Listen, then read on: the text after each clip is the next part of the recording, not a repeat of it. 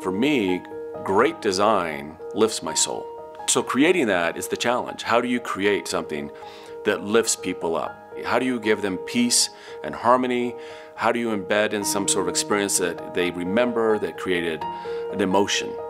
Our greatest work at WRJ is when we have a client that really wants something special, when they really want their, their home to be unique to them. And I think a custom WRJ interior speaks best when we have a client that's really striving to achieve that and when we are able to meet them halfway and really say let's let's create something really special for you. It's great to work with craftsmen and artisans that are looking to the greater design world and what's out there and what they can bring to the table.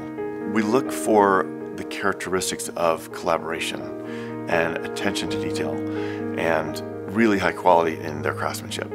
That is the joy of finding great craftsmen. People who really love what they do. Because we love what we do. We really love what we do. And so you want to make sure that you're partnering with people that are of that same philosophy. And that's when, you know, I think design is exciting, really exciting. I know all the work that goes into it and all the time that goes behind it. So to see a piece when it's finished and to walk through with the client and they get to discover it for the first time and they know that that's the one unique piece, one of its kind in the world, it's super exciting. It's just fun.